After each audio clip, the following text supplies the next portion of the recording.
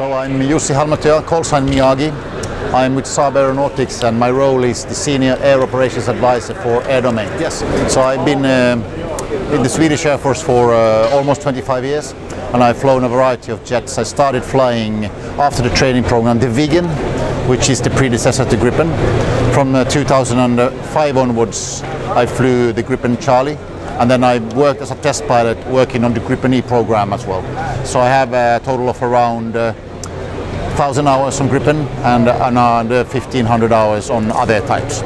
So uh, on Gripen I have just less than 1,000 hours uh, and then I have around 1,500 hours on other types uh, throughout my career.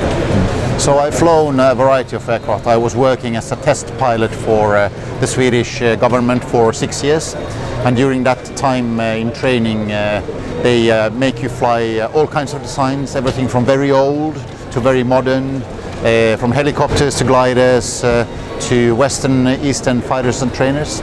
So compared to all those other airplanes, which is around 25 different types I've, I've tried, Gripen E stands out with uh, the amount of information, the situation awareness that you get, the easiness of uh, operating and flying the aeroplane, uh, and the, just the capabilities that you have that are uh, next level in terms of warfighting.